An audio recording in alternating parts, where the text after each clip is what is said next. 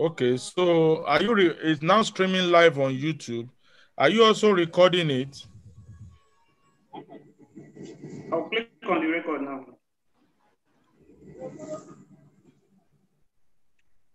Okay, perfect.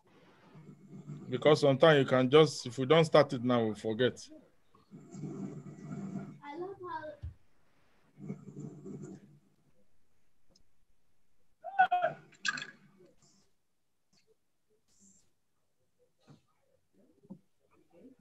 I've not seen the YouTube link. oh. It's now streaming live on YouTube. Are you also recording it? I'll click on the record now. Oh my god. Okay, perfect. Because sometimes you can just, we don't start it now,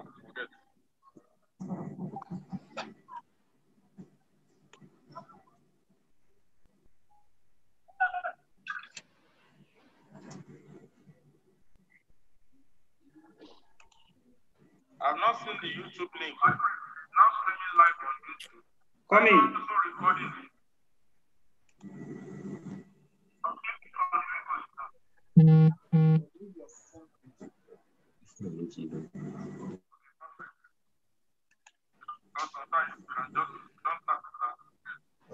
Okay.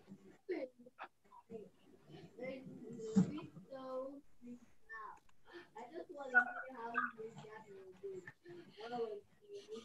Um, Dr. Kereke. Okay. No, don't don't share yet. Uh, it's um, it's Simeon that will share. When we want you to share, we will tell you. There are other things we have to do first. Can you hear me?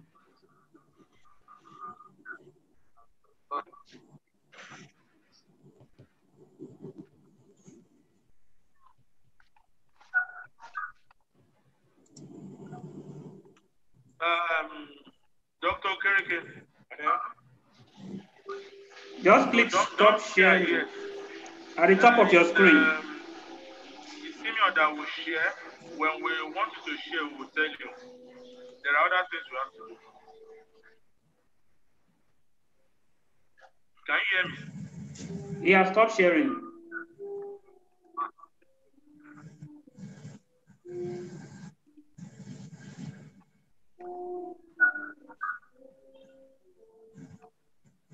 Um, Dr. Kereke. Reputation, reputation all over. Simeon, Top of your yeah, I don't know why. When we want you to share, we tell you. I need the YouTube link.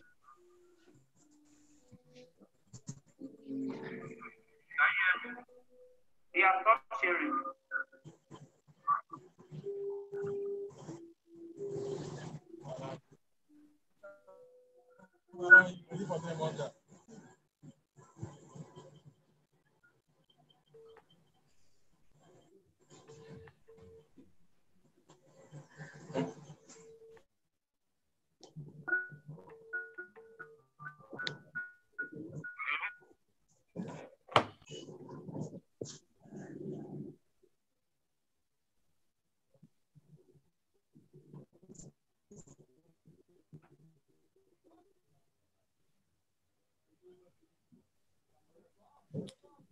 Uh,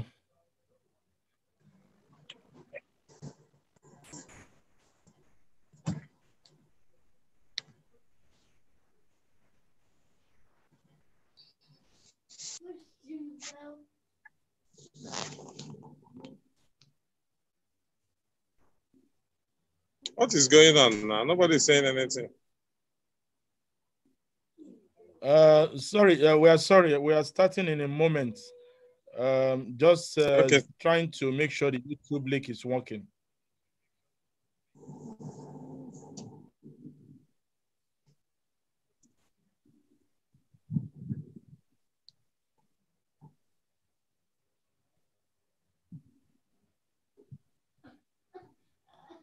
Uh, Moses.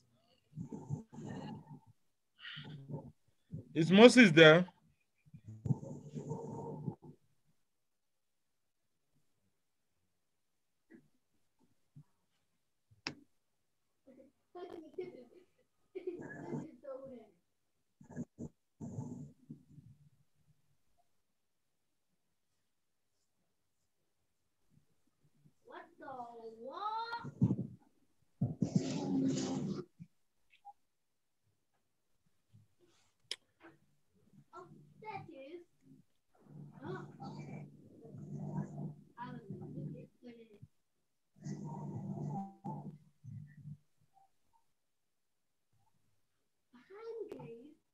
Okay.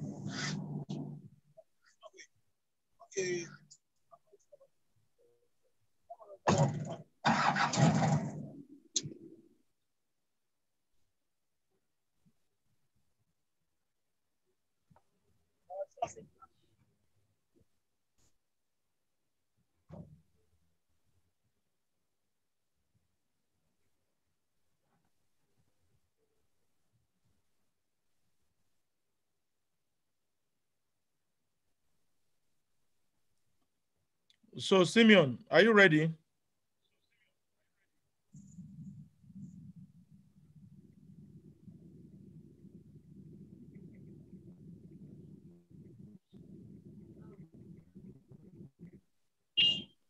Hello? Am I being heard? Hello, Dr. Kereke, can you hear me?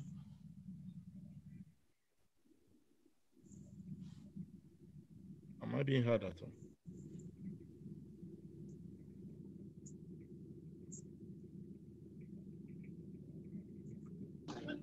Yes, sir.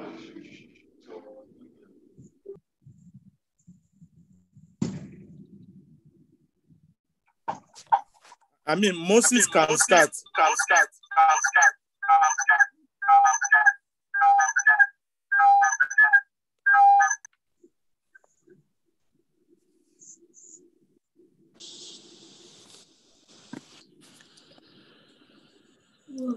Hello, Simeon, can you hear me?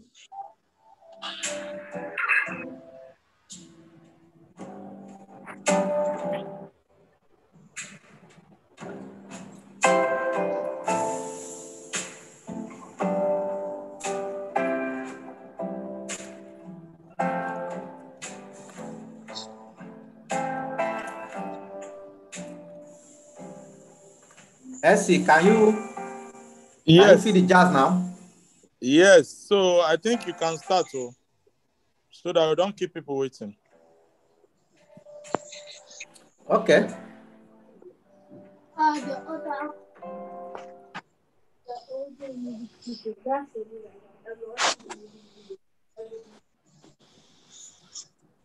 All right. Let's give additional uh, four minutes. We are we are just Okay. 18 in meeting.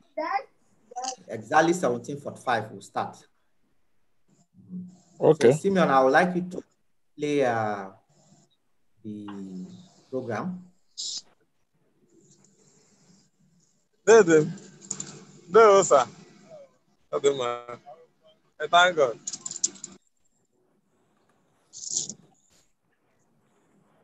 This is exactly how the movie is. Yeah, like. ooh. Simeon, please, can you display the program?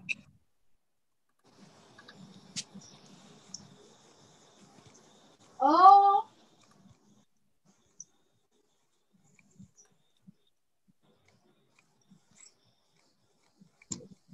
mm. Is Simeon in the house? Hello, yeah. what? Please display the program. Display now. Okay.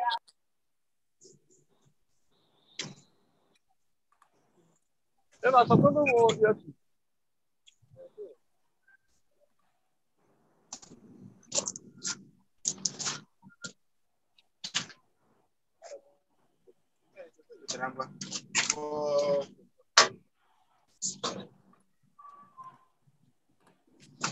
I suppose no more. Yes. I don't remember. That will be slide two. The second slide. Is it going to get a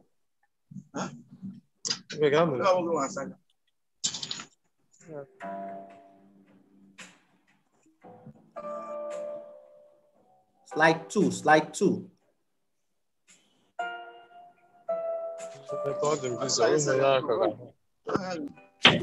So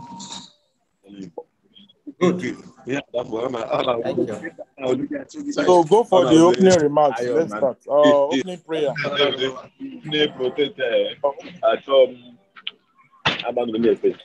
Uh, please let's please let's uh, mute let's mute our microphones. Okay.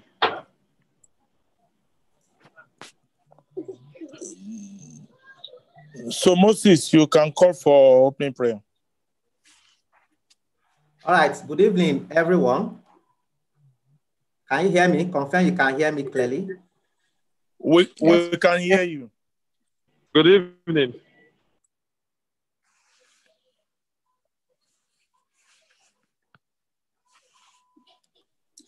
All right. So welcome to the uh, October 2020 monthly technical meeting of the Society of Petroleum Engineers, uh, Port Harcourt uh,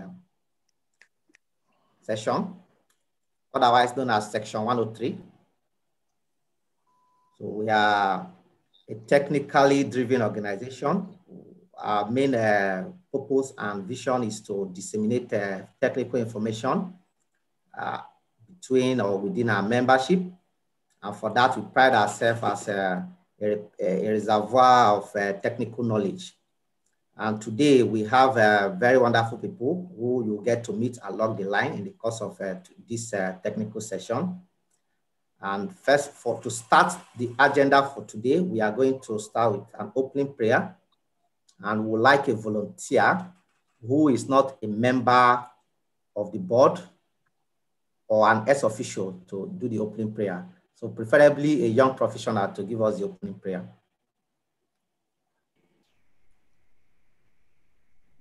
Good evening now. Good evening. Please say your name. In Jesus' name. My name is Emmanuel Akwafwe. All right. Okay. In Jesus' name. Amen.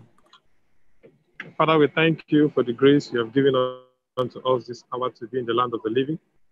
Also, thank you for giving us the privilege of this day, oh Lord, to organize this particular meeting. Father, we believe that whatever is committed to your hand can never be destroyed. Father, this hour we commit this meeting into the able hand. We ask that you will come and take absolute control. At the end of it all, will be a success, and the glory will be given to your holy name. For in Jesus' mighty name we pray. Amen.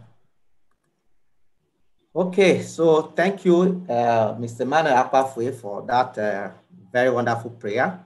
So move quickly to the next agenda, which is uh, the safety brief and safety moment. So uh, normally it should have been taken by the program chairman, who is unavoidably absent. So in the absence of the program chairman, I will take uh, the safety moment. So just as we are surviving and coming out gradually, uh, we are not completely out of the COVID-19 pandemic, but as we can all see around us, we are facing another kind of uh, pandemic in the country. So what normally started out as a, a peaceful demonstration against uh, police brutality has today snowballed into uh, some kind of hoodlums hijacking the agitation and uh, causing mayhem all across the country, uh, mostly in Lagos, and then in some parts of Port Harcourt and in Aba, in Enugu, wherever, in Jos, all over the country. So the safety moment today will be for uh, self-awareness of your environment, wherever you are, uh, whether it is uh, as a result of you going there to work or you are living around those facilities, you have to be aware. Then it's also good to uh, watch the news from reliable sources.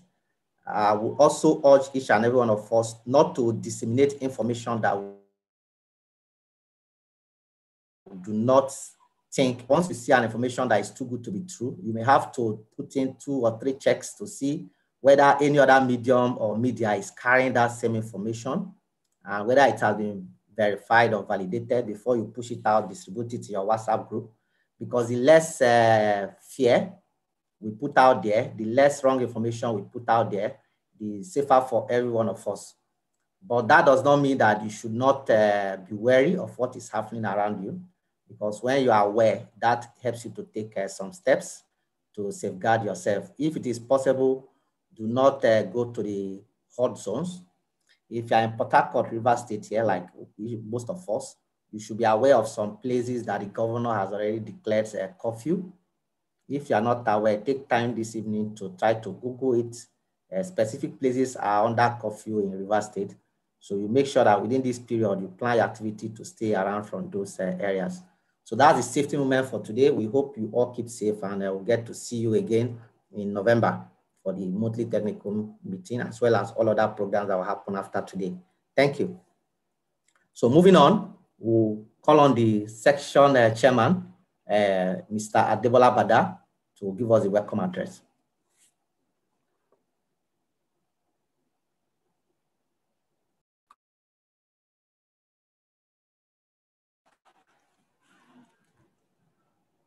Nobody was hearing me. No, we, we could hear you. Can you hear me now? All right. I heard you. Yes, I can hear you.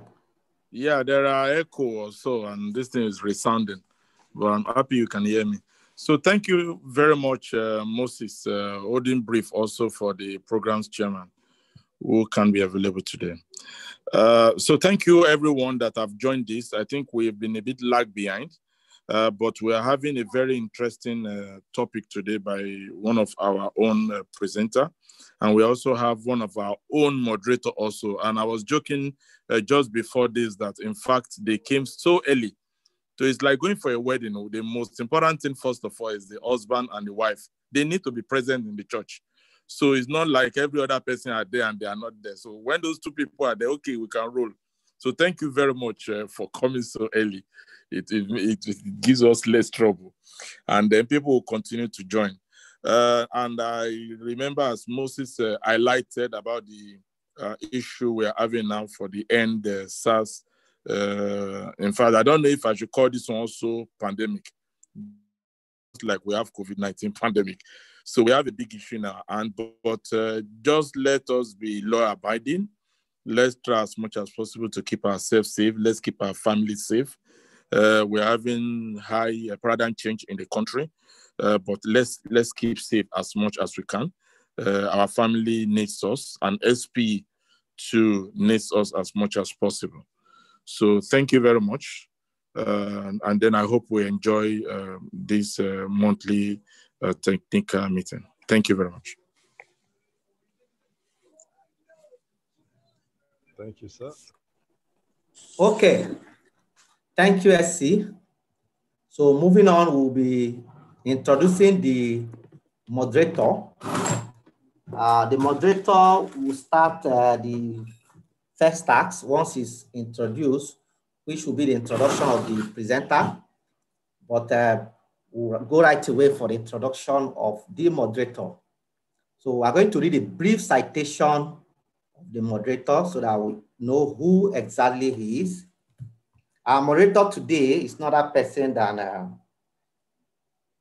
I don't know why people like to use the word no other person. So our moderator today is Mr. Olubenga Daudu, a production technologist in field development and execution in Shell. I suppose it's SPDC. So here is a citation. Daudu Olubenga Benga started his career with the Shell Petroleum Development Company of Nigeria as a production technologist in the field studies and development team, where he developed conceptual completion designs, well potentials, among other things, for about six oil and gas development projects. He went on to further join the wells reservoir and field management team, where he maximized and sustained production from gas wells in the largest gas field in SPDC, ensuring LN LNG gas supply was maintained. Benga currently works as a production technologist in the field development and execution team, responsible for delivering new oil and gas to the company portfolio. Benga holds a master's degree in chemical process engineering from University College London.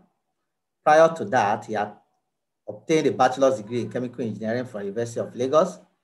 He has been a member of the Society of Petroleum Engineers for over 15 years. He's also a member of the Nigerian Society of Engineers He championed a couple of initiatives in SPDC, which includes the first novel intervention in high pressure gas well to improve productivity, which he wrote and presented at the 2018 NICE conference. This was deployed successfully and increased production by over 240 million standard uh, cubic per day.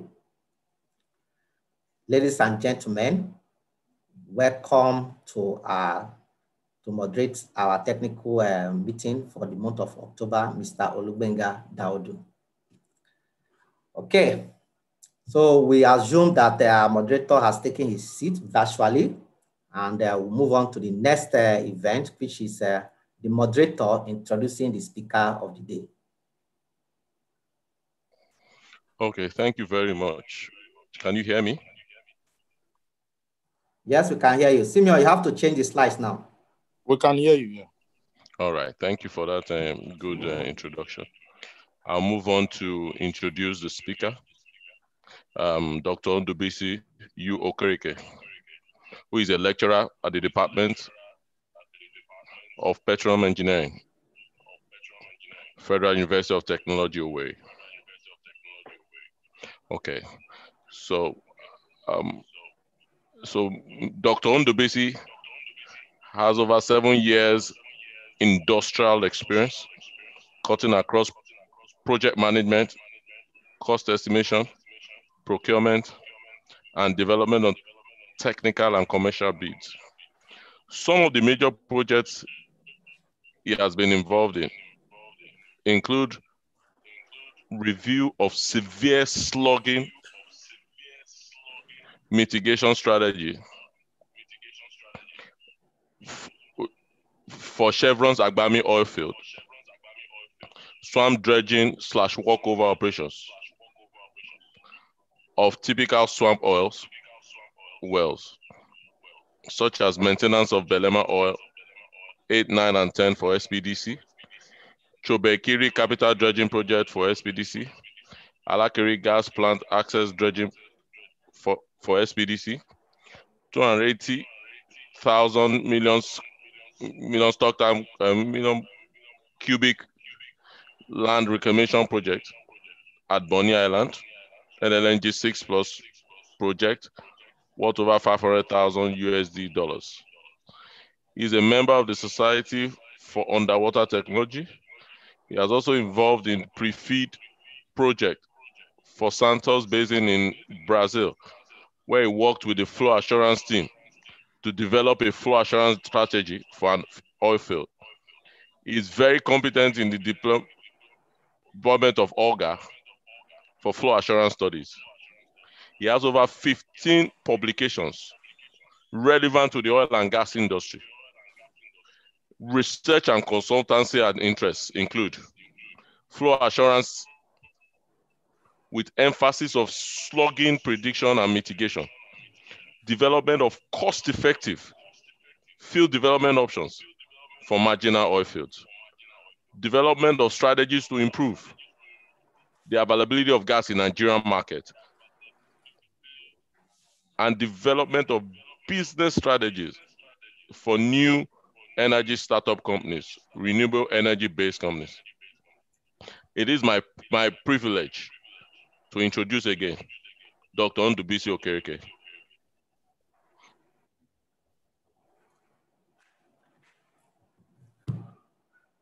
Thank you very much, Mr. Moderator.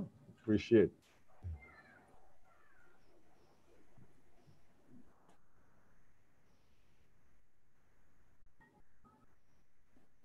So I ca- can I go Okay, ahead and Doctor. share? Yeah, Dr. Okereke, you can uh, share Go now. ahead. Okay, thank you very much, Maesi.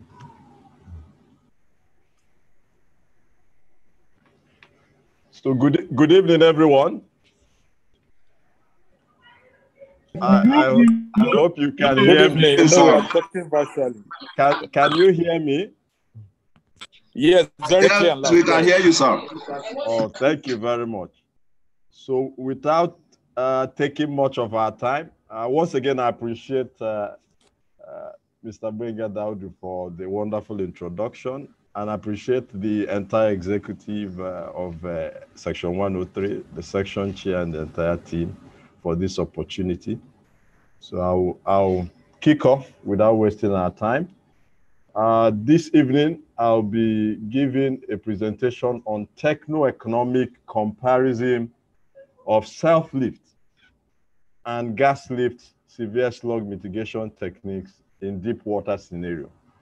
Uh, particularly, one of the interesting and uh, new uh, concept which this presentation will bring about is uh, the concept of self-lift. So I'd like you to pay uh, good attention to the concept uh, because it is uh, very new uh, in terms of application. Uh, no deep water field has applied this technique, but studies both from my PhD work and some other research I've done in recent times have proven that it could be a viable severe slug mitigation technique. And I hope for us to interact more in that regard and see what can come up from it. I also appreciate the co-authors of this uh, work because this paper uh, was published in the most recent NAICE 2020 virtual NAICE. So by way of outline, uh, I'll go through the background and problem statement uh, that has necessitated the need for this study. I will look at the concept of uh, severe slugging, I will look at the concept of self-lift and gas lift, but I'll lay more emphasis on self-lift because I presume most of us uh, have a good understanding of gas lift, but I'll still explain uh, that as well. Then I will make focus on the particular case study that was captured in this work, a deep water case study based on a sample field within West Africa. And so we spent some time on that. And then the key results, key findings, and the conclusion. So uh, by way of uh, background and uh, problem definition, with COVID-19 uh, came a, a, complete halt, as it were, to a lot of activities that uh, need uh, oil and gas, you know, more emphasis on oil, especially travel. Transportation is one of the key um, uh, key key aspect that requires a lot of our oil products. And so with COVID-19, there was a complete halt in transportation, both flights and both transport. And so we see a dip, as we can see here from sometime uh, around January up to somewhere around March. We see a dip in the oil demand. And so with this dip, obviously, it puts a lot of pressure on production from uh, deep water uh, facilities because it's uh, quite expensive to produce from deep water. So if we continue on this path, but things are beginning to change with uh, on easing of lockdown. But again, we can see some countries uh, in Europe getting back to lockdown. So all these will also affect uh, oil demand. And so there is need for optimization of our production costs. It's critical for us to ensure uh, we have a, a, a, sustainable bottom line at the end of the day. So another key thing is uh, severe slugging uh, could lead to as much as possibly 50% drop in production because once severe slugging occurs, there are tendency of your pipeline riser section being plugged by almost half as a result of liquid slug settling at the riser base and you know, occupying a lot of portion that could allow easy flow of your multi-phase stream to your topsides and your separator. So that you don't want to happen. Then this could also lead to very poor separation on the uh, within your separator because you'll be having fluctuations in your multi-phase stream between your liquid phase and the gas phase. As well, with the fluctuation in the liquid phase and gas phase, you could also have potential trips of within the inlet of your separator, which you don't want. As well, there are possibilities of structural failure within your pipeline riser system. So these are all key issues that need attention. So the concept of severe slugging, uh, this con the, the, concept of severe slugging occurs mainly uh, at low mass flow rate or low flow rate when your uh, reservoir pressure begins to drop and you begin to have low flow rates. So what you uh, begin to experience mostly is that your liquid, the liquid section of your multi-phase stream begin to uh, settle at the low points of your pipeline riser system. As in this figure one, you can see from uh, the section one of the figure, uh, blockage of the riser base, sort of the liquid settling down because they are flowing at low, low flow rate. There's not enough pressure to push it up effectively. And so when this continues, you begin to have accumulation of liquid and over time as well, sometimes you could have gas coming from behind to push off this liquid uh, that has accumulated this riser base. And with that, you begin to have kind of a gallop within your pipeline riser section. And that creates a lot of uh, structural uh, challenges for your pipeline riser section as well. When, when you arrive, with, when the liquid and gas phase arrives with such fluctuation within the inlets of your separator, it could lead to trips, as I mentioned earlier. And so we, you begin to have this cycle of up and down movement. That's the whole idea of uh, severe slugging. So the next slide is uh, the self-lift. What do we mean by self-lift? Um, the idea of self-lift uh, is that you, you are able to tap off your associated gas that is coming from your wellhead uh, via a smaller bypass pipe, a smaller conduit of pipe, and you're tapping that off from your pipeline section, and then you're tap in, tapping that into your riser section. And so the whole idea is uh, how do we reduce the associated cost with gas lift? Because gas lift is associated with a lot of cost in compressing the gas from the top sides to inject within your riser base. So how do we manage that? That's uh, what gave birth to this idea. This wasn't uh, fully an original idea of mine. This was muted sometime in 1995 by Babuto, but my work tried to readapt it to um, a typical deep water field for the very first time because most of the work done by Babuto, Fabre et al. in 1991, Tengesdal and some other researchers have been at experimental level. So the gas concept of gas lift is in the fig four. So we have gas, pure gas, you know, gas at certain flow rates, of course, a reasonable flow rate that it can be able to push off your liquid slugs. And then you send that in through your riser, somewhere around your riser base. And so this is the whole idea of, uh, of uh, gas lift.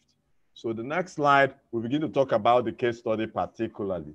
So here we have a typical deep water field, over 1,000 meters uh, riser section, uh, uh, more precisely about 1,400 meters uh, water depth thereabout.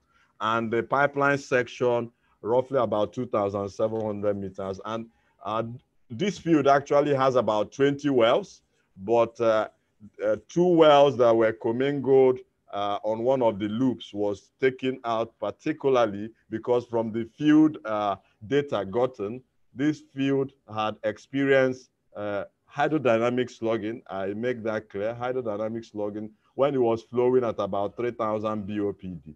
So what this study did was to, first of all, initially model that hydrodynamic scenario to be sure that we are getting what is uh, what was experienced in the field. And then subsequently, Olga model was tuned by lowering the mass flow rates at these uh, source points or inlet points. That's the well X1 and well X2, uh, lowering those flow rates to initiate severe slugging. So when that happened, we now try, began to try both self-lift and gas lift to see how they will behave uh, within this severe slugging scenario, which I will show you much later. So there's the fluid properties of the field you know, CO2 composition point, H1 nitrogen point one three. Uh, it's important to see the methane composition is relatively high for 3.3 uh, more percent, and uh, the other compositions are there. So this was modeled in PVT-SIM. So you, you need to model the fluid in PVT-SIM, which is uh, attached with Olga main package. And once you model that, you can now initiate and run that as if it's uh, uh, to mimic the real field scenario uh, of the same fluid.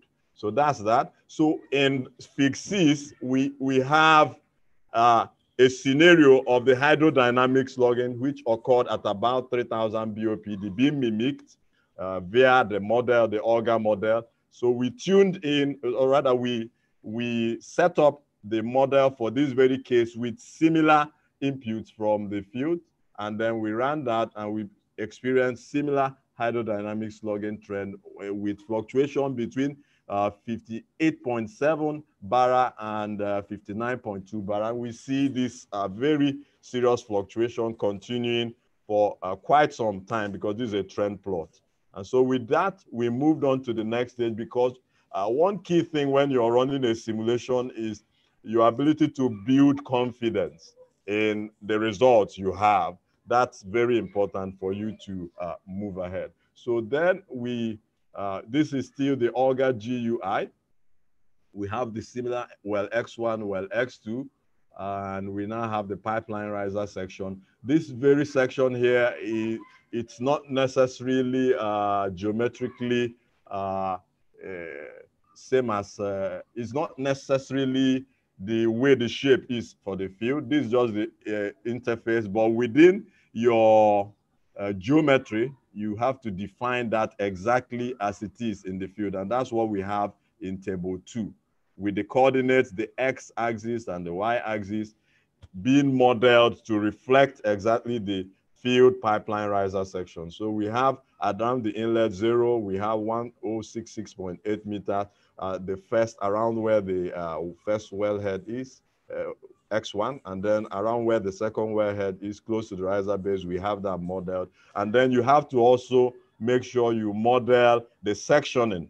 Gridding, like we know, especially for those that do uh, reservoir modeling and so much model, uh, some other modeling, it's important to make sure your sections are well gridded to allow for a rigorous uh, interpretation of the results that will come via uh, the equations that are coded behind OLGA. In the, in the paper uh, for this work, you will see the key equations for OLGA. So those equations need to run rigorously around your data to be able to uh, generate results that will be as close as possible to what you should get in the field.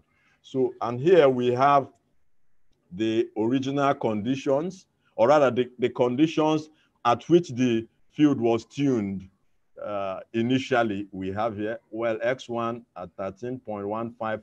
OLGA models uh, the flow rates in kilogram per second. So that's we, what we have here for well X1 13.15, for well X2 56.13.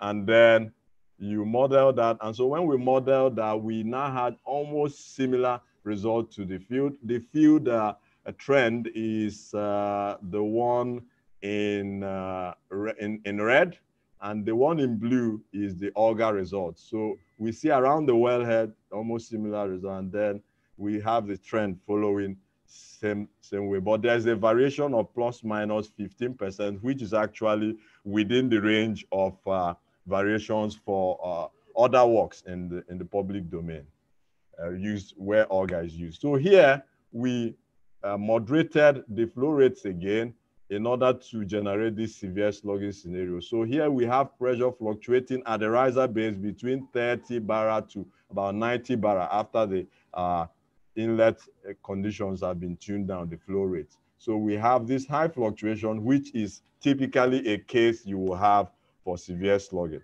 And then within the riser base as well, we have liquid fluctuating uh, liquid uh, hold up. That's liquid packed up within your pipeline riser section, but these are the riser base, almost at 0.8, over 0.8 uh, liquid hold up, liquid fraction. And what that means is that your pipe section is almost 100% plugged with liquid. And that it's a, a lot of problems. So this is a clear case of severe slugging. So we established this before we now begin to integrate uh, other things, uh, uh, the mitigation strategies. So and here is our uh, GUI for the self-lift concept, and these are GUI for the gas lift concept. So here we define the bypass pipe with this between this node seven and the inlet point.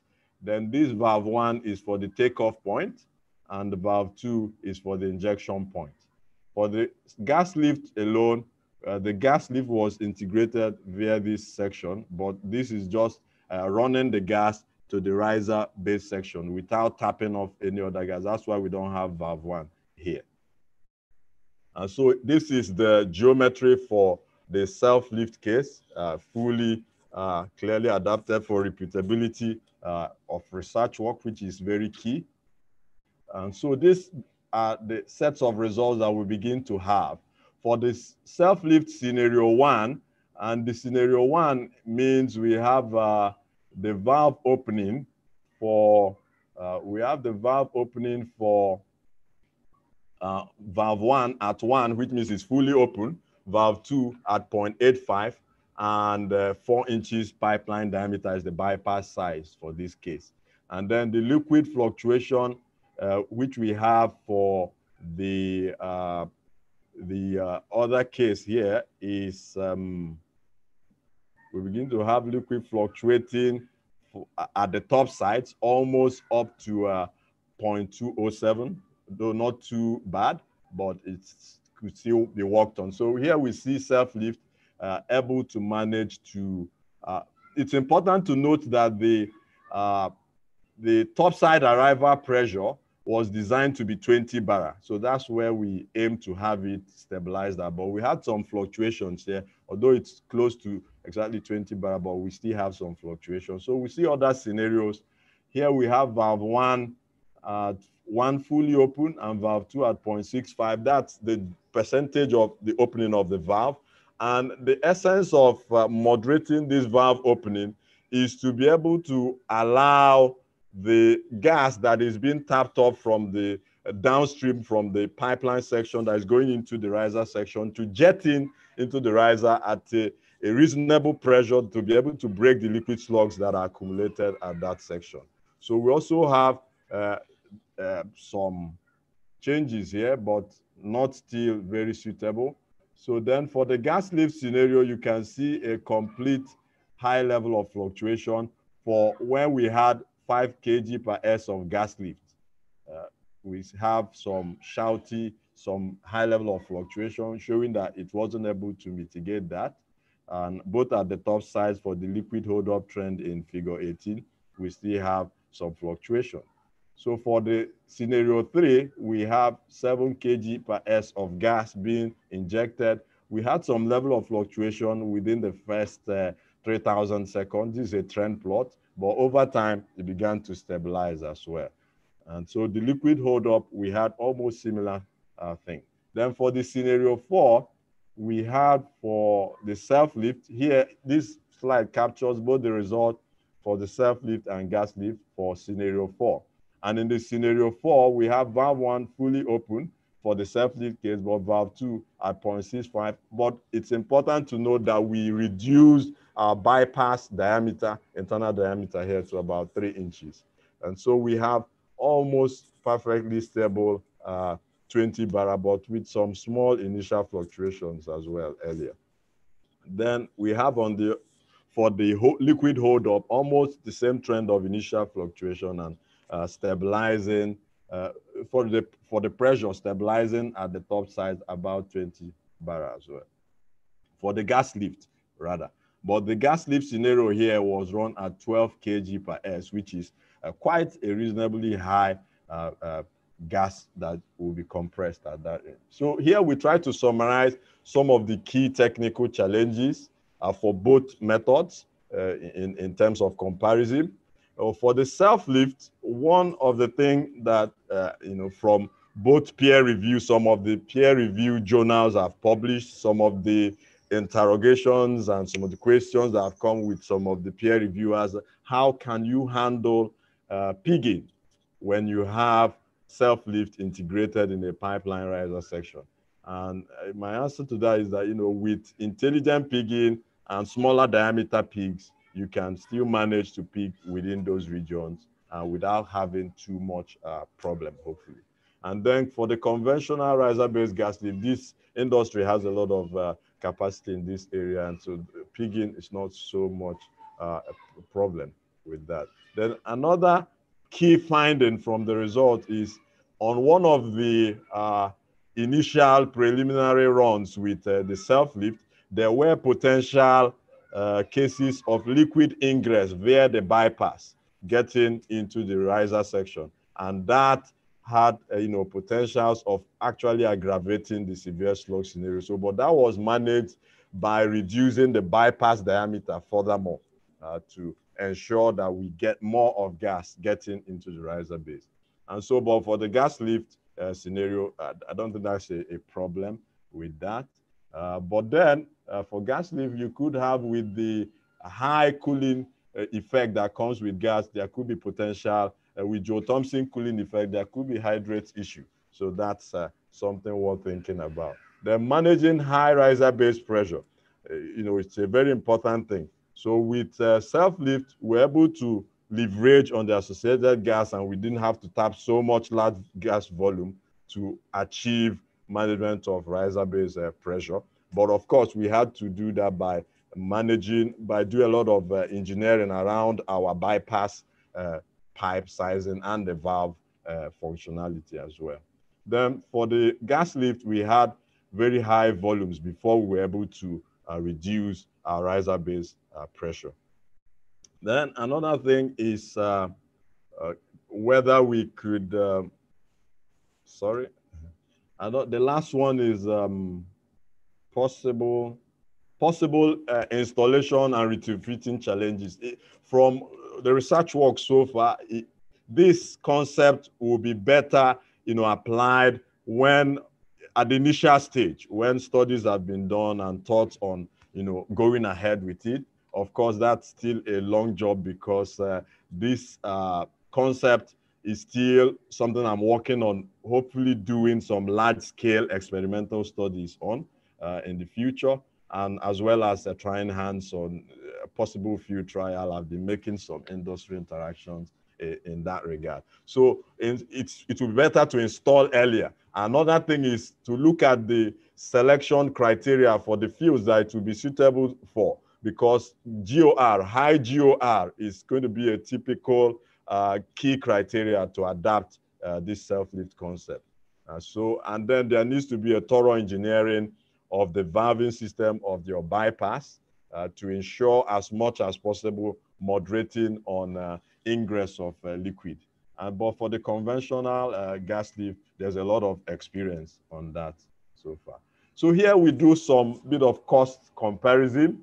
Um, because of uh, time, I didn't put all the Cure LT uh, charts. The Cure LT charts are the production charts, but they are they are very much available in the paper. So here I try to summarize the production uh, derived both from the self-lift and the gas lift for the various scenarios. So for scenario one, we had about that 1372.56 meter cube per day and for the scenario two, for self-lift, we had uh, 1370. Uh, bear in mind, we are just considering those two wells, well X1 and well X2, the total cumulative production from them. And then under this self-lift condition. Then scenario three, 1370 meter cube per day. Scenario four, 1372.25. And for scenario four, we use the three inches bypass diameter. That's also important to take note of. Then we have the scenario one for the gas lift, where we applied basically 2 kg per S, and uh, we had 15 37.79 meter cube per day production. We had 15 to 8.79 meter cube per day for the scenario two with 5 kg per S. Then with 7 kg per S, we have uh, 1552.38. And then for the 12 kg per S, we had 4218.14 meter cube per day. So we have some variation in production uh, with, of course, the, uh, the, the gas lift scenario actually uh, giving us higher production. But uh, bear in mind that for the ones we really had very good variation, the volume of gas compressed was quite high. So that's what we had in terms of variation. One, 165.23 meter cube per day variation in production for uh, the first scenario. Second scenario, 1528.27, the third scenario 182.38, then the third scenario with huge gas, uh, 12 kg per S compressed, we had 2845.89.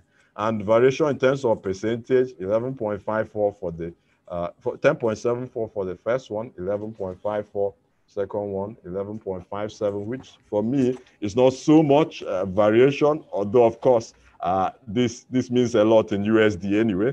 Uh, but uh, I, I think the variation is not so so much when we consider, you know, the installation we will have uh, because you know on the top side you have need to have your compressors, which comes with the cost. Uh, you need to now compress the gas and power the gas, then which comes with a cost, which will be seen in the next table. So here in the next table, we have a detailed analysis of the compression cost associated with the um, uh, powering the gas for the various scenarios of gas lift. For the scenario one with 2 kg per meanwhile, the data for the gas was, uh, for the compression was gotten uh, courtesy of Eka Solutions. They were gracious to support the, the, the, the research work at when I was uh, running my PhD, because this is actually an offshoot of my PhD work. So, you know, they supported that. So that's where we got these initial conversion values for our power compression. And then, so subsequently for the various cases 2 to 12, we now applied the conversion rates on them. So with that, we have for the scenario one, in terms of power consumption, about 18,076.49 kilowatts, coming at about 2530.71 uh, dollars per uh, total USD, uh, because it is at uh, 0.14 USD per kilowatt. Then for um, for scenario two, uh, we had about 90,000 plus uh, kilowatts for the compressing the 5 kg per S, down that entire uh, 1,000, 4,000 meters water depth thereabout. We have the terms of USD 12653.54 uh, USD deployed for that compression. Then we had for scenario three about 88,574 USD deployed for compressing the gas. And then for scenario four with 12 kg per S, we had quite uh, over 10,000, over 10 million USD deployed to compress that huge volume of gas. And so this for me are things that needs uh, a lot of attention. And important to also know that the simulation, this one was run basically for 24 hours to reflect a one day scenario. So here we also look uh, critically at what we did with the power and the, for the self-lift scenario and a summary of the cost. And so uh, we begin to see here as well for gas lift, uh, the revenue from the production is listed here. There's still a huge, uh, there's still a, a relative um, uh, variation in, in, in production for the first three scenario and quite some huge variation for the fourth case. But then uh, as well, we see here the difference in US dollar about 6,084. This difference is, uh, you know, when we bring in the production from self-lift and the revenue from accrued, accrued from that production. So we have 58 for scenario one, 58018.11 for scenario one. And then the difference in US is about 6984.27. For scenario two, from self-lift, the production is 1370.25 from those two wells. We had revenue of about 5793.188 and difference of about 6,000 something. Uh, for scenario three, we had production of 1370 from self-lift. From gas we had 1552.38, difference of about 7,000. Then for the last one, we had quite a huge difference. But of course, we also remember the high capex uh, capex, sorry, OPEX of the uh, compression cost. So for the self-lift, uh, one key advantage that jumps out is that we don't need to compress gas. Uh, another uh, thinking, which is actually part of a, a, new work I'm working on, is we could also consider uh, adapting self-lift and moderating the gas we will compress just to improve the effectiveness of the whole uh, system in terms of uh, production now. So because with self-lift here, we can moderate slugging, but in terms of production, we had more with the gas lift scenario. So I think a combination of both process could also be something uh, worth uh, thinking about. So uh, in way of uh, summarizing the findings and the key conclusions for the work, um, sorry, trying to move try to move uh, this the Zoom screen off so that I can uh, tidy up on that. Okay, so basically we have self-lift uh, slug mitigation technique, being able to stabilize liquid hold up and pressure at the riser base, uh, and as well at, at the top side to about 20 bar, which is the design uh, inlet pressure at the separator, with the bypass diameter of th three inches giving us the best uh, result. Then for the gas lift, this was also done very well, but it, the best result was at about 12 kg per S with associated huge gas volume and of course associated high OPEX. And uh, another important finding from the work, it, it, it's better to uh, consider a bypass pipeline diameter ratio of uh, uh one is to two. That's to say, you know, the bypass diameter should at most times be at least half of the diameter of the pipeline section from where you're tapping off the gas because this would help as well as with the help of your valves at that takeoff point being regulated properly it could help to get you to jet out gas from the associated stream at a relatively high pressure as well when you manage the valve and at the injection point on your riser base properly and have a, a suitably sized bypass diameter there will be likely a, a, better tendency to break your liquid slugs within your riser column.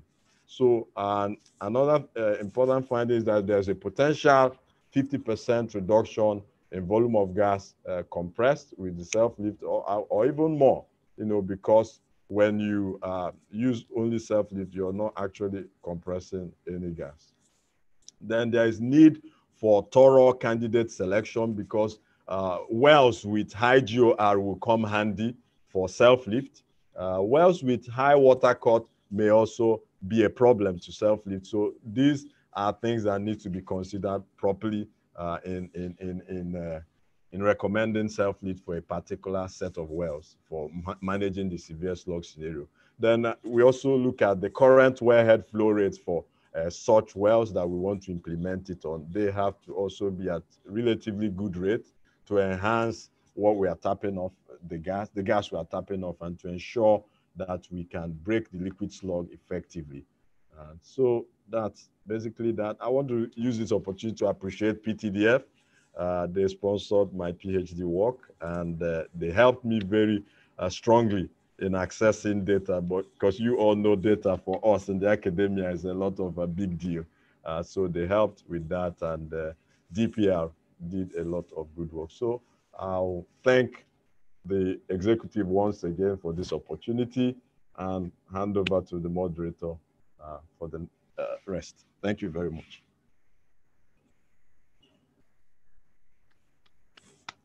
Thank you, Dr. Ndubisi, for a fantastic uh, presentation. I was really excited because um, I've been someone that um, knows a lot about the gas lift and flow assurance okay. issues as well in the oil and gas wells. Okay. Um, okay. We've struggled really with combining both for solutions, but you have just showed that in wow. your in your wow. paper and your presentation. Fantastic work.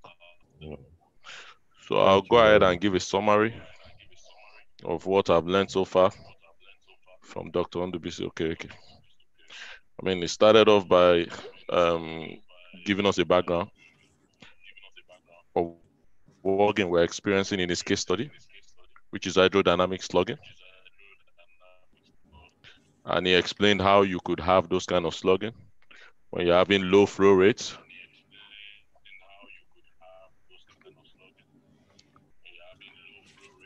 And he also talked about the deep water scenario where you can find it mostly your pipeline and your riser. Okay, so we offer two solutions, the self-lift and the gas lift. And he also described the concepts of both self-lift and gas lift. Self-lift being using the associated gas from the well, and gas lift being introducing the external gas using a compressor. Okay, and then he shared the he shared the, the, the case study, and then he also shared the results. Now, um, one of the things I was able to discover from what he shared Okay, is um, the, the, the he looked at the gas lift, and he looked at the at, at the the um, the self lift, and he did a, not only did a technical compa- comparison, but he also did an economic comparison, which is uh, what you call a robust uh, um, research. Okay, because you don't only just go for the uh, technical, you go for the money as well. Okay, so some of the things he also compared uh, the challenges for both scenarios because it's not Christmas in our industry. We have challenges, and he was also able to give us mitigations. That means he has really thought through this uh, this study and had done a lot of his homework. Okay, so any company that's trying to adopt this stuff, they need to also think about the mitigations. Among things allow pigging, think about liquid ingress, high, high riser base pressure, um, possible installation retrofitting challenges. Okay, and then in the cost comparison, he made it very clear that self lift, being an associated gas, it's uh, much a lot cheaper than the gas lift, and so also is the fact that. Uh,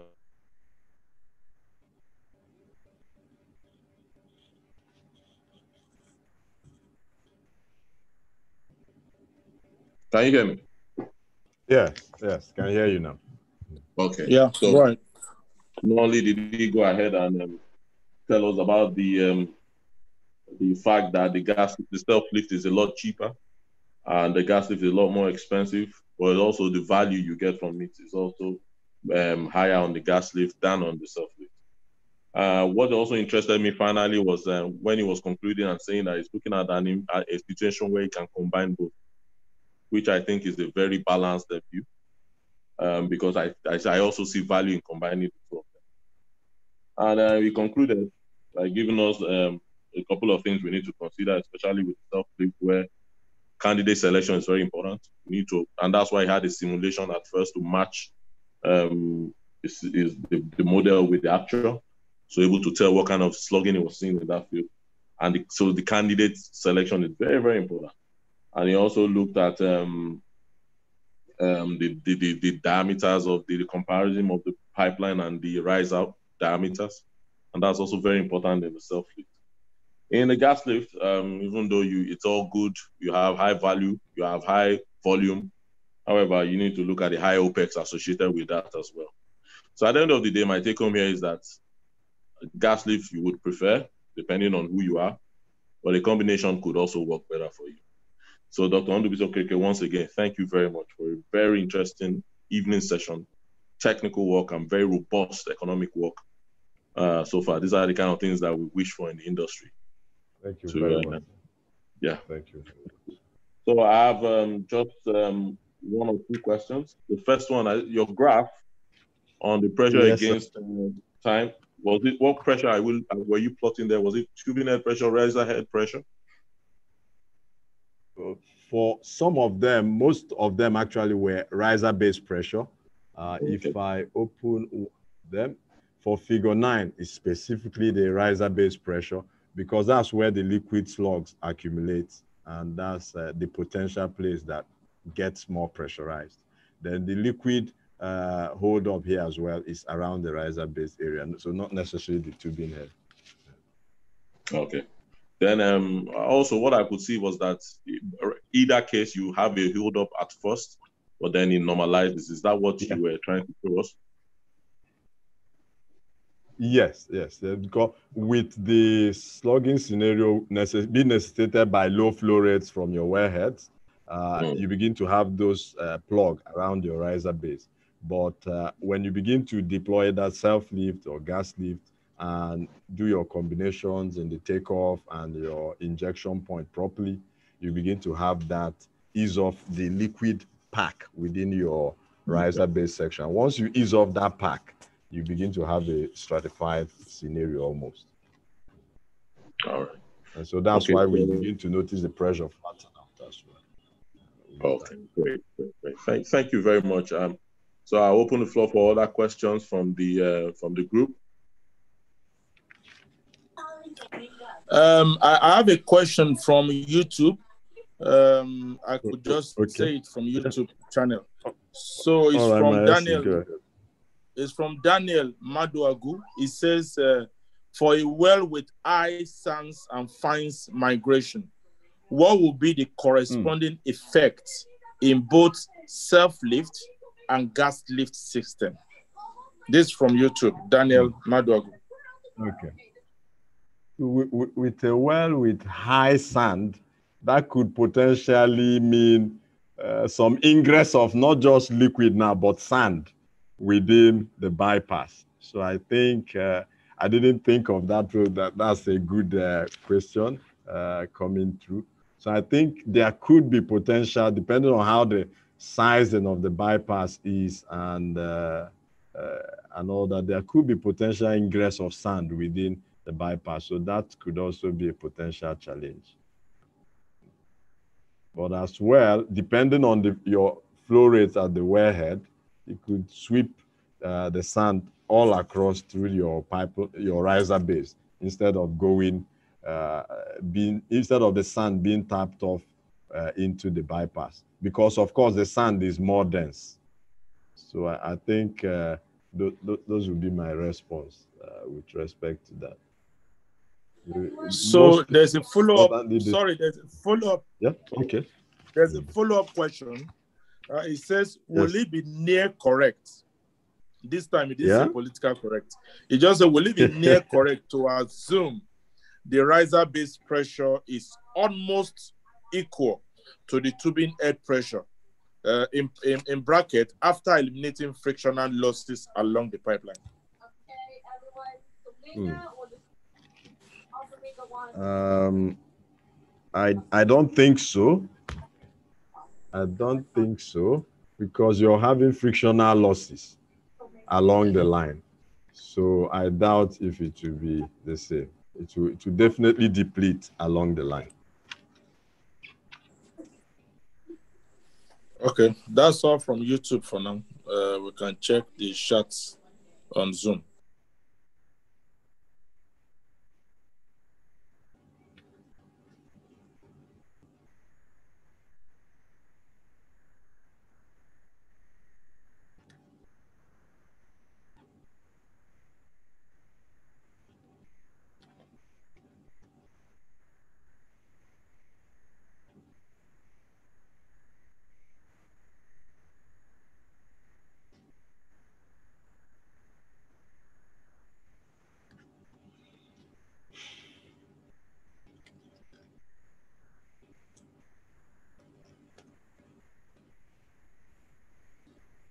I can take it, uh, Dr. Okereke. Listen, Okay. Okay. uh, uh, he said uh, this from Adrian uh, Okpere. Great pre- presentation, Doctor. Very Okay. great presentation, in Okay. fact. And he says uh, his question is, what Okay. level of smartness or automation can we introduce into this system based on historical performance and sensors can we get a system that predicts the onset of liquid loading or slugging and then automatically kicks off self lift or gas lift to get an optimized injection rate Yes, that, that that's actually possible. That's possible with the aid of OLGA and maybe some initial uh, simulations around some maybe data uh, from.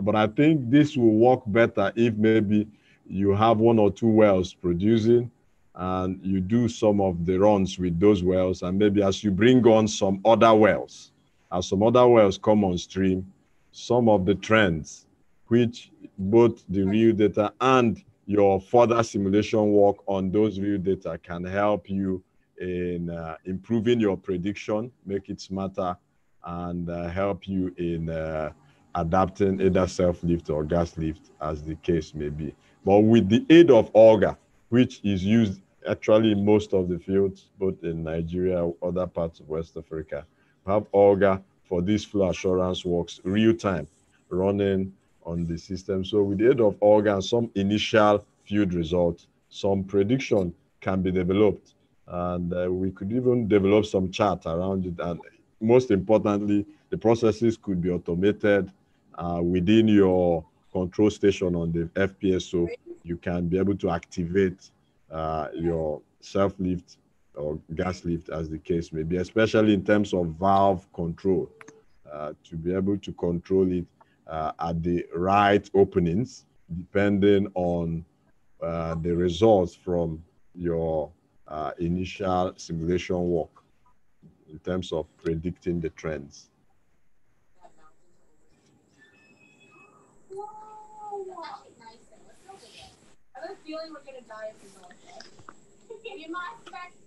Uh, is the moderator there? Uh, uh, Moses, are you there?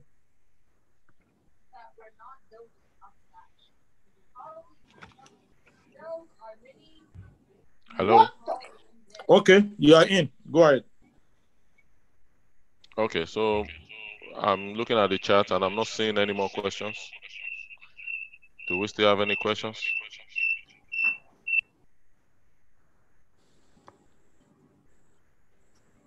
Uh, okay, another one from YouTube just came in.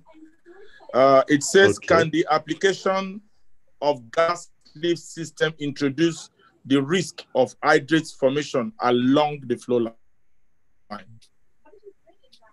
Absolutely. Absolutely. Because gas lift is associated with what we call Joule-Thomson cooling effect, where the temperature of the multi-phase fluid stream is effectively lowered. And once the temperature is lowered, especially the gas part, and it interacts with water, that's a potential uh, hydrate uh, uh, problem, especially if your hydrate formation temperature for that fluid is relatively low. So that's uh, very possible. But that's one of the problems associated with gas lift. It's a possibility.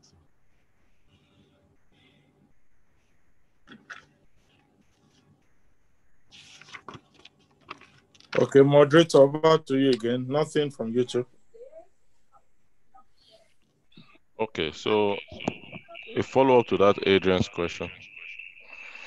It might also be okay to um in in investigating the smartness of the system. Uh, have you Okay. considered the cost of that also? That also adds additional cost to your gas Okay. scenario. Mm. Uh, at this moment, I've not uh, considered that elaborately. I, I would say it's pro- part of uh, some further work, which I am doing, hoping to get one or two postgraduate students to actually do some further work in that area, because it, it will need a lot of proper costing. Uh, how do you integrate uh, the control for those valves? What are the cost implications uh, to have effective uh, control of those valves? Uh, are there potential? Uh, will there be potential need for interventions uh, on that, and what are the cost implications as well? I think that that's uh, those are things uh, still worth investigating.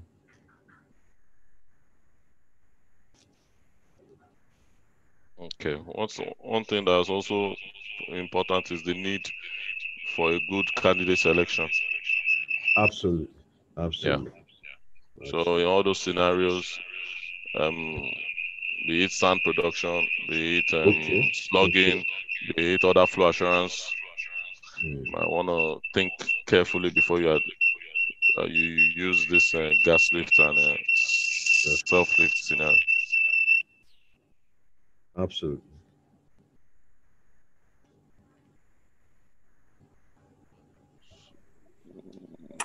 Okay. Hi there. How are you today?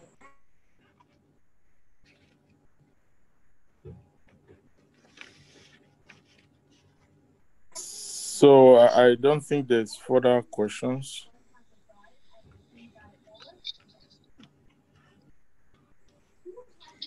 No, not at all from me. Thank you. Okay. Okay. Thank you. Thank you so much um, for to the presenter, uh, Dr. Ndubisi Okereke. Very nice presentation. And uh, we can see everybody is congratulating you from all channels on our various I pages. just saw I just, I just saw one of my uh, master students back at Cranfield raising his hand online, so I'm raising back to uh, Yeah. Ikedna. And also thank you to the moderator, Mr. Olugbenga Daudu. Really appreciate it. And for the point that, uh, in fact, for the fact that both of you came so early, this is one of the best we have seen that we have seen a moderator and a speaker coming as early as possible. It makes the whole job easy, and then we were ready before the attendees came. Thank you very much, and uh, we'll continue this discussion, of course, on our various um, social media spaces on LinkedIn and so on and so forth. So I'll hand over back to the secretary. Moses, are you there?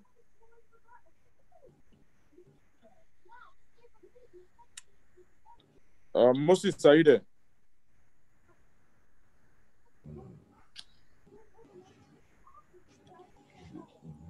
Hello, Moses.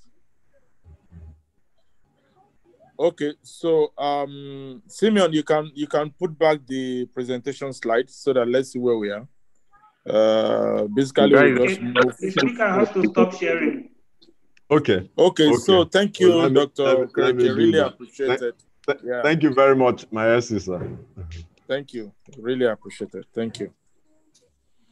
Uh, we'll just have the next uh, 10 15 minutes just to wrap up our section programs information and then we, No, no, we're out of Just the SCB in the look for you. okay.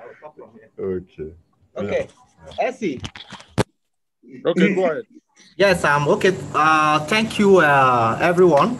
I think it was a great session from uh, the speaker, moderator, the questions from uh, different uh, channels. So it's a wrap for us on the technical side. Uh, the moderator has already done that. So we hand over to the publicity chair for the question of the day. And without being introduced, immediately after the question of the day, the membership chair will give us uh, a talk about us. And then SC will tell us about our board members.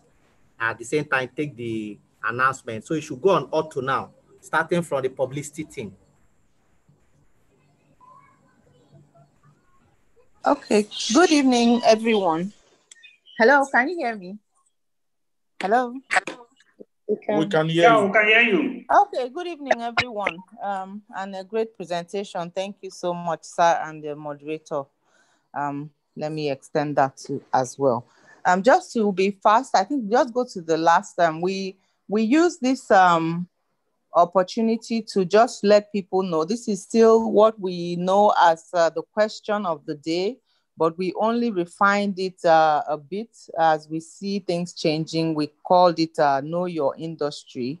Um, uh, questions in the sense that we're looking at, we're moving in a wider scope now, not just the oil and gas, we're talking of energy, we're talking of uh, economics now, we're talking of uh, a, law uh, in petroleum, all that coming in together as uh, one. So we are we want to be holistic, even safety.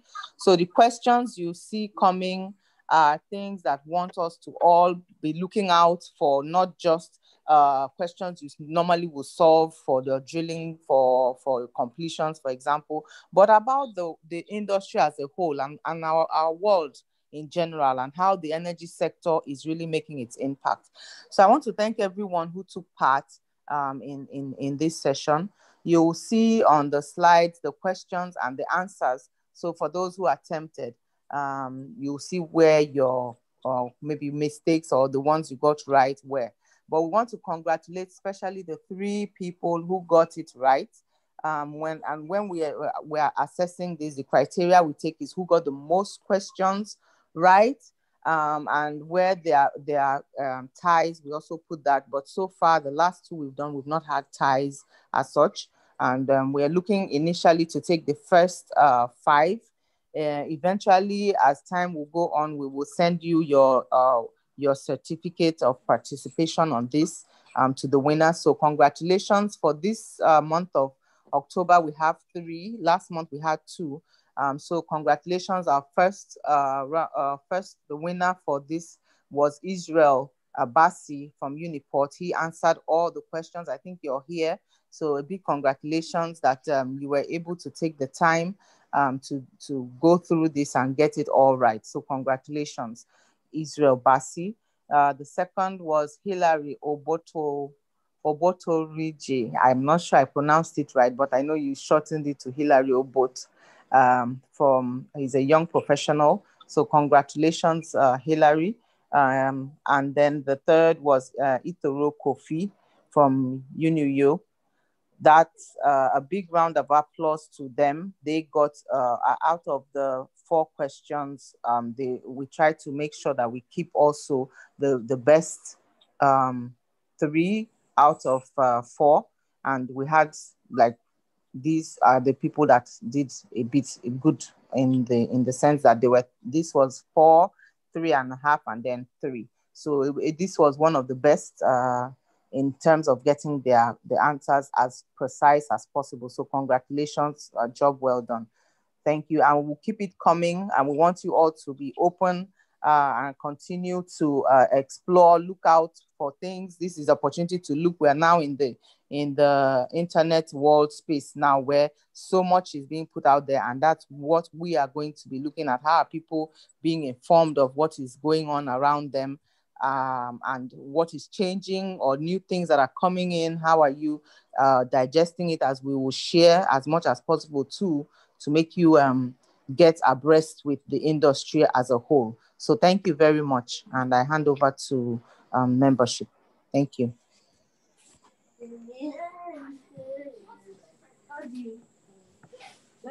Now.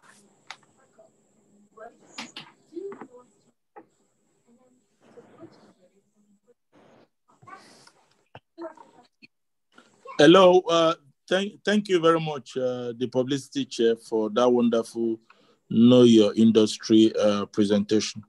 Um, do we have the membership chair there or the assistant, please? Yes, please. Uh, Ifeanyi is here, so if uh, you could go out to share the slide, Simeon. Good evening, everyone. Um, what a great presentation.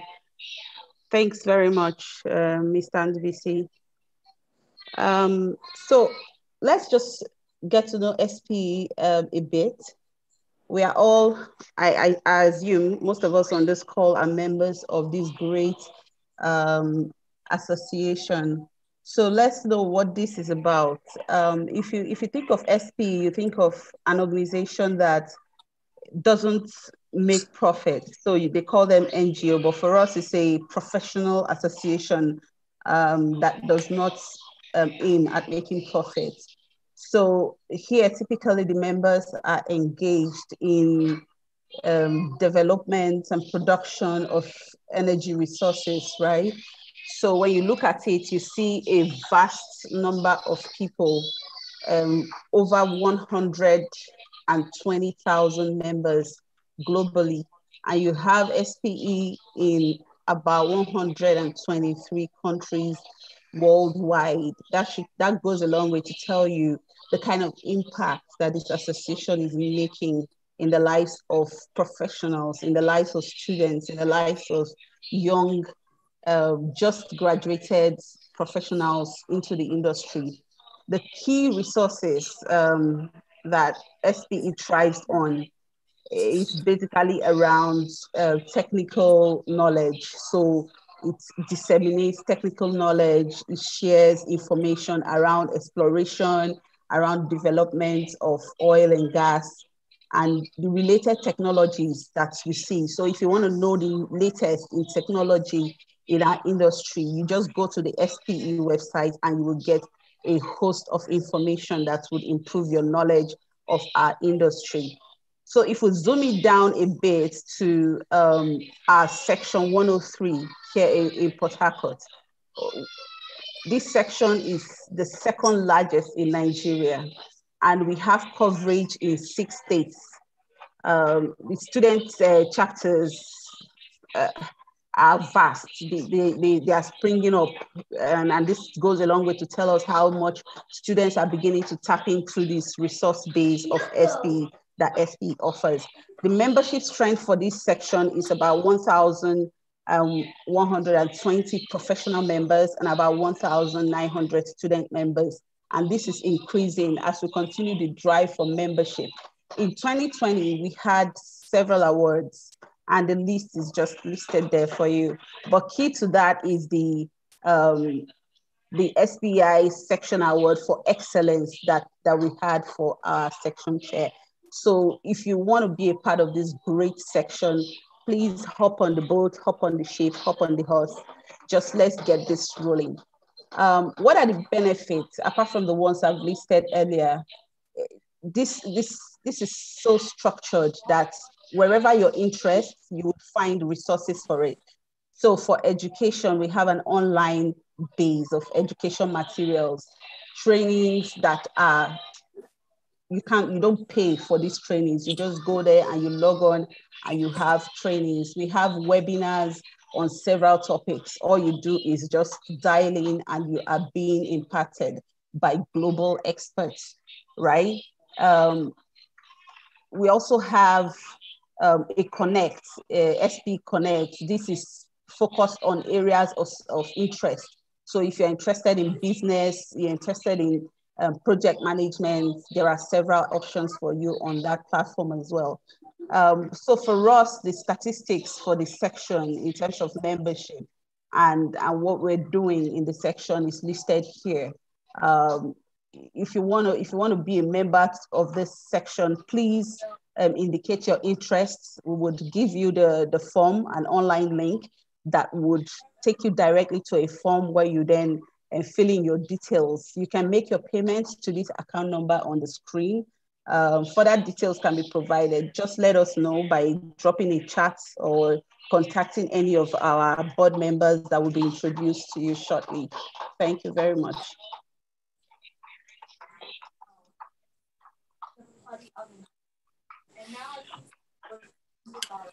Okay, so um, I think that's it. So thank you, thank you very much, um, our membership uh, co-chair. Um, thanks to everyone that attended this uh, event today, our monthly technical meeting for the month of October.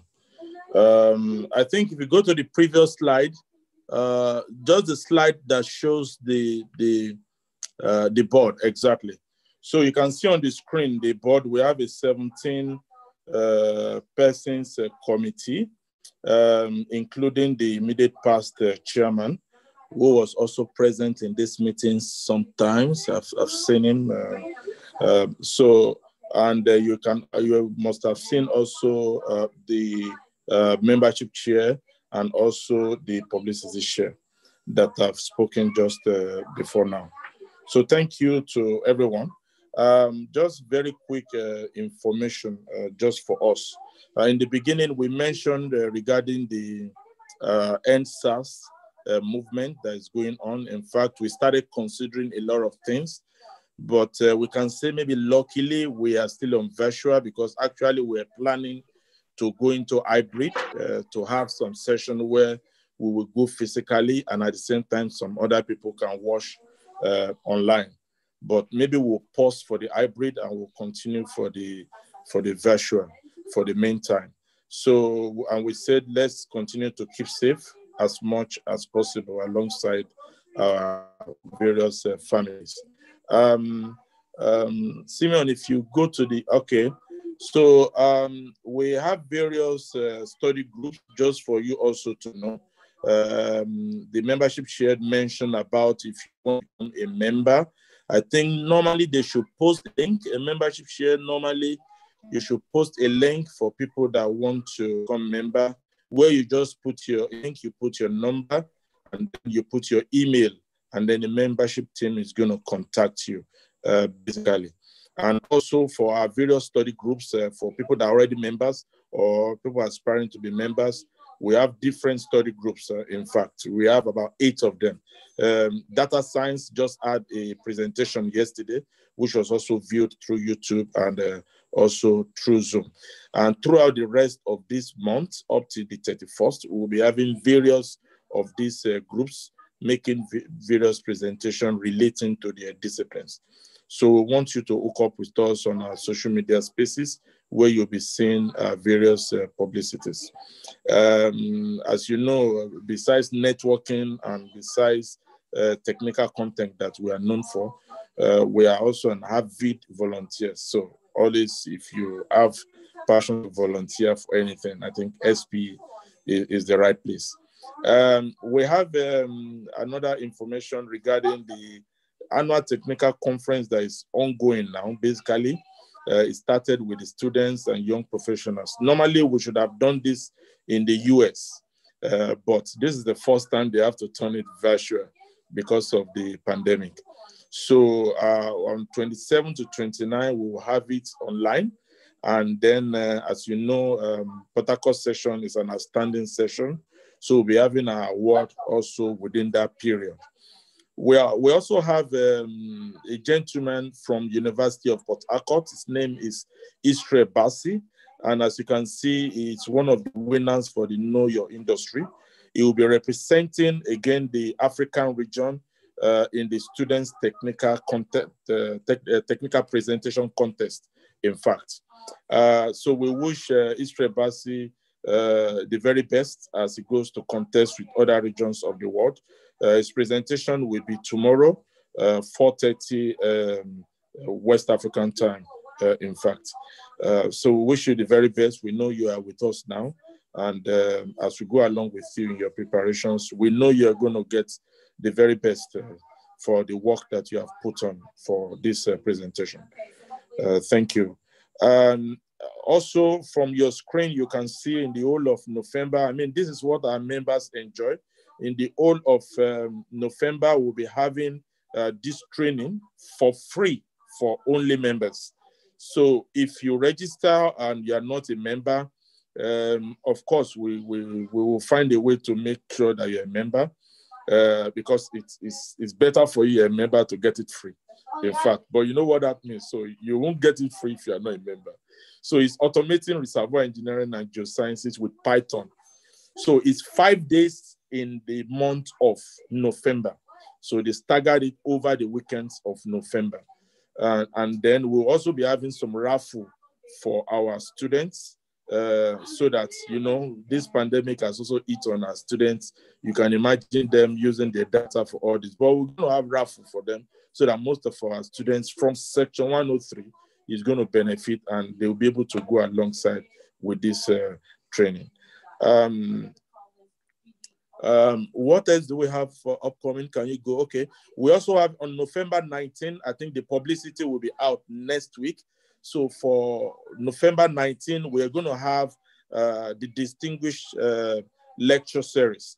So we're having someone from France. Normally, it's supposed to be in Nigeria, uh, but because of also the pandemic and then SP International have said uh, we have to make this uh, so we'll be connecting with us from France. And this is a great presentation. It's from the Piper Alpha to Macondo and 737 Max. So if you're in the industry, not only in the oil industry, because uh, like 737 Max is not really. So, but Piper Alpha, Macondo, we all know, and then 73 Max so you can imagine he wants to see how the dangers of all this and how it affects uh, uh, the compliance culture of the oil and gas uh, or the energy industry generally. And this will be on 19th of November, but the publicity will go out next week. So you'll be able to, to connect to us. So his name is uh, Dr. Thomas Intercia. Intercia is pronounced uh, in France. Um, so having said this, I would like to also recognize again the immediate past chairman, Engineer George War, he was present sometimes. Uh, maybe he's not there now. Um, also to recognize all the officers of Section 103 that have been present uh, with us for this. Um, we have line of events, as you can see from your screen, uh, different events uh, packed for the remaining of this month from the technical and also from our students, from our YPs. Uh, just continue to follow us on all the social media spaces. If you type 103 Port Harcourt, you are going to get us in all the social media spaces, and it's very active. So you can always put your comments or anything. We're going to uh, answer you. So thank you very much um, uh, for all the support, and we hope you continue to be part of our programs. And then I will always continue to say that um, uh, you keep safe uh, with this um, EndSARS, um, I, will, I will call it maybe pandemic, but it's EndSARS uh, crisis we are having. We hope Nigeria will go through this and then we come out strong again. Uh, take care of yourself, take care of your families, and uh, I wish you the very best. Thank you very much for all your support. And then let's continue to engage uh, on social media spaces. On, on uh, it, it doesn't end here. When we have presentations, we launch it, and then we continue to talk about it, uh, and then we see where it takes us. Of course, maybe we can make uh, good recommendations that could also support our industry and help our developing country, um, including Nigeria. So thank you again. Thank you, everyone. And I would have said I wish you safe journey back, back home, but you are already at home. So take care of yourself and your family. Thank you very much. Thank you. That's all for me. I think we go into the uh, prayer session, I think. So need a volunteer to just give us a closing uh, prayer, please.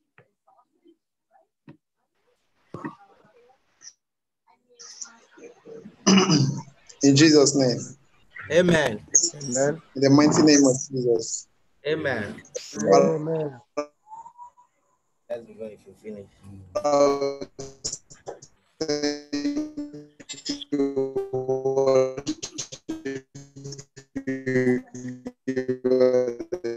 glory. We thank you, in Jesus. Thank you, Lord. Thank you, the member of the SPE session. I would say Port Thank you, Lord, for keeping us safe. Thank you, Lord, for your provisions. Thank you, Lord, for your guidance.